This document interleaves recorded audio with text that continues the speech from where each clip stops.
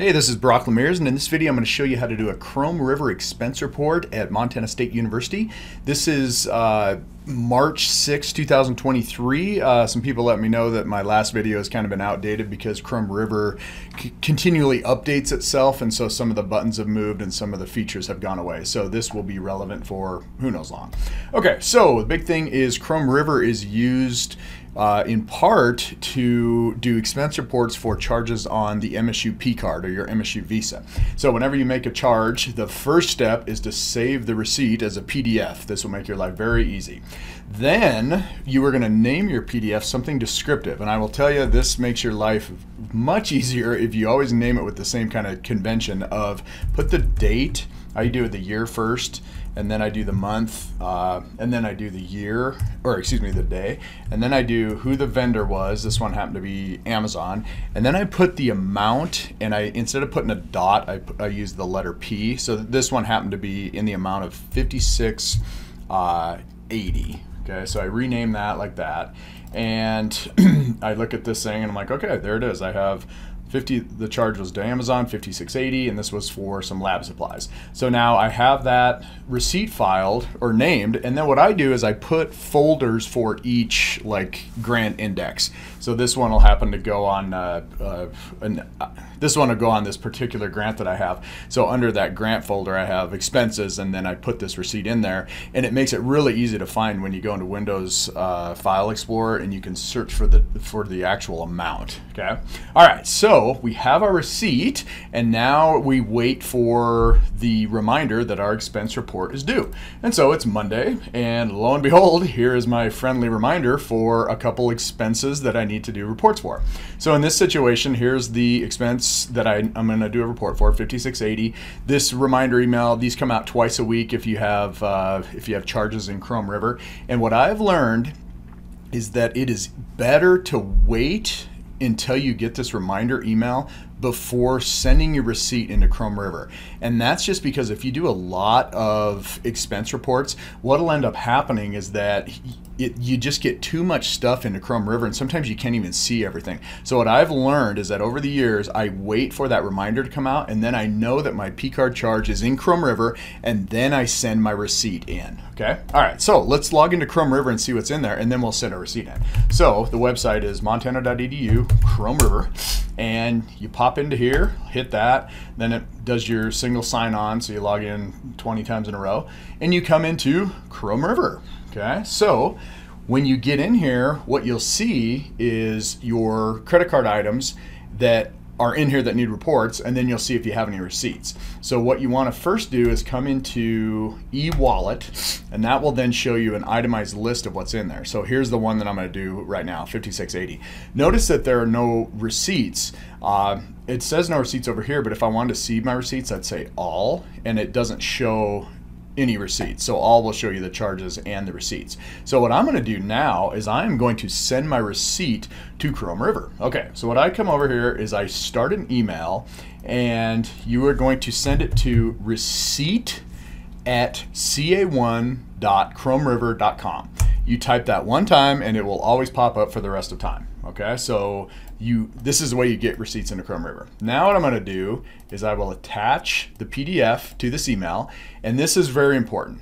Don't put anything in the body of your email, and then in the subject, put the amount. This is where looking at your file name is very important because you can see the, the amount of this receipt, 5680. So I do 56.80. This tells Chrome River that it's a receipt. It doesn't tell it what it's what it's for or who the vendor is, but it tells you the amount, and that's super important because when you go into Chrome River, then you can see which receipt has or is for what amount, and then you can attach it to the actual P card charge. So put 56.80. Don't put a dollar sign, and always put a dot, and always put two digits after the decimal point. So that is all you do. So now I'm going to hit send, and that's going to send this to Chrome River. And now what I'm going to do is I'm going to wait for the email that tells me, hey, a receipt just showed up. Okay, so the email has arrived and there it is. It says I've received your receipt.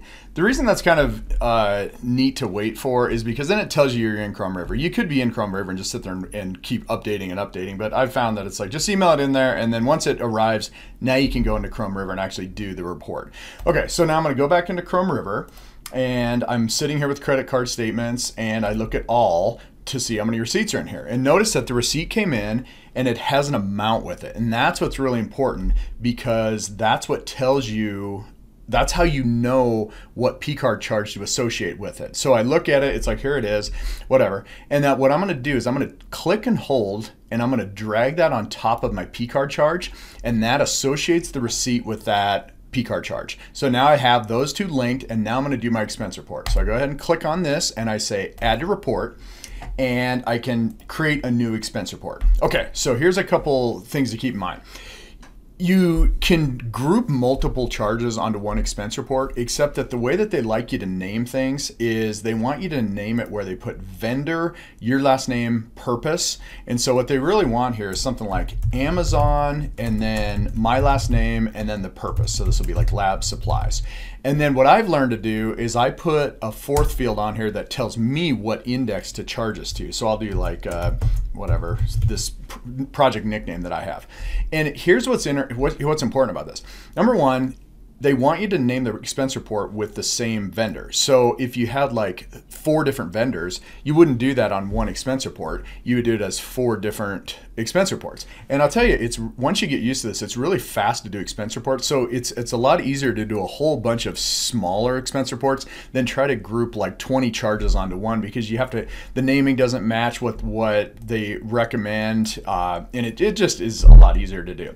In addition, notice that I had two charges to Amazon. Those are going to two different index, indexes. So indices. So I have to have two different expense reports for those. So in this situation, I'm just going to do an expense report for both of these Amazon charges and call it done. So I do Amazon, last name, purpose, and then I put a fourth optional field on here, which is a nickname of the grant I'm going to charge to.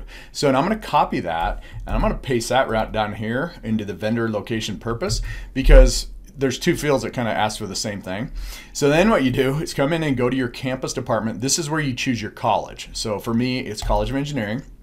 And then down here under report, you're either doing travel or non-travel for a faculty, okay? So I'm gonna do non-travel. So I've got that set up and I'm gonna now do save and that's going to bring up the next form, the next step. So what it's going to do is you have to choose kind of two things for each report. You have to choose the expense type and then you go in and you choose like the account code. So here you get these cartoon icons in here and for this particular thing, I'm going to come down here and I'm going to do material supplies and materials.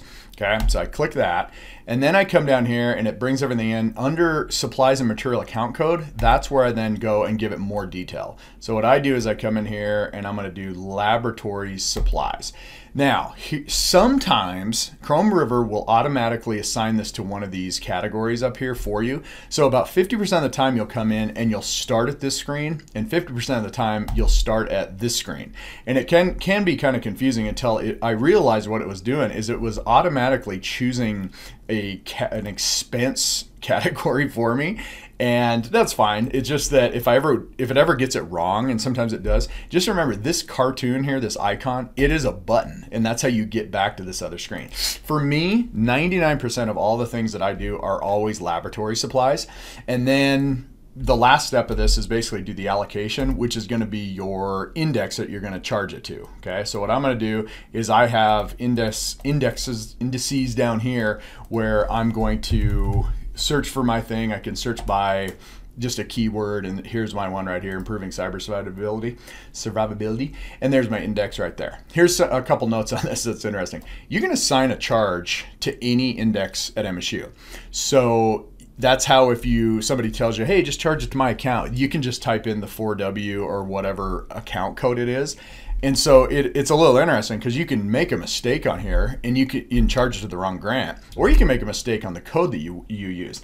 The good thing about that is that the fiscal shared service people watch this and they will catch your mistakes. So I, I routinely make a mistake where I choose laundry supplies instead of laboratory supplies. And I'll get an email. It's like, did you really buy laundry supplies or was it laboratory supplies? I'm like, oh, whoops, I screwed up again.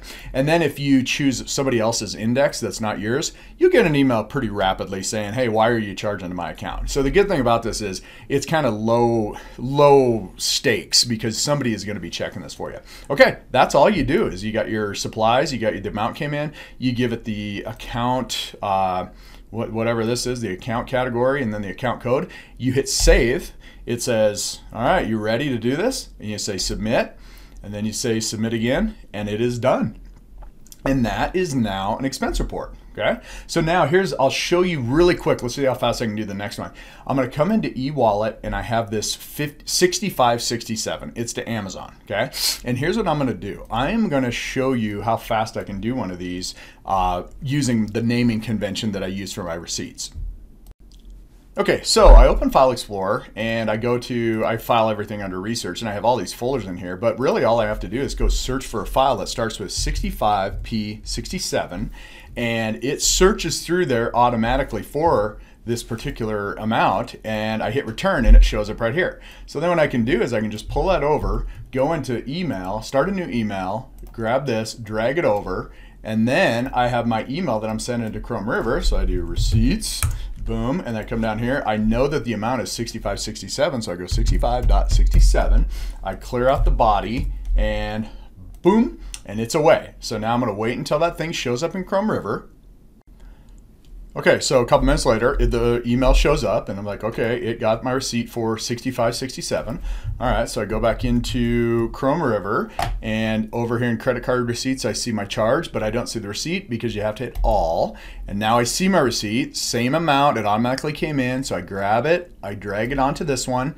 That associates the receipt with the charge. I I click it, I say add report, and I'm gonna create a new expense report. Okay, so I'm gonna do vendor, Amazon, last name, LaMeres. I'm going to call it, the purpose was lab supplies again. And then I'm going to do this one on a different account. I'm going to charge this to my RRD account. So I copy and paste that down here because it's the same field. Kind of, they kind of want the same information. Campus department, I'm under engineering, and then I choose non-travel. Okay, I say save. And then it asks me, what do I want to, what expense type is it? I come down, I'm doing supplies and materials. I come into here, I choose the account code, which is almost always for me laboratory supplies. And then I come down here and I got to search my allocation. Since I've used it before, it comes up right away. So this IRD, LaMeres Electrical Engineering, that's what I'm going to charge this to. And now I am done. I hit save. Now it's going to ask me twice, do you submit it? Are you sure you want to submit it? I want to submit it and voila, I have just now submitted it and it took me like two minutes to do it. And if I come in here into eWallet, I'm all cleared out and I'm ready to actually start work for the week. All right, that's it.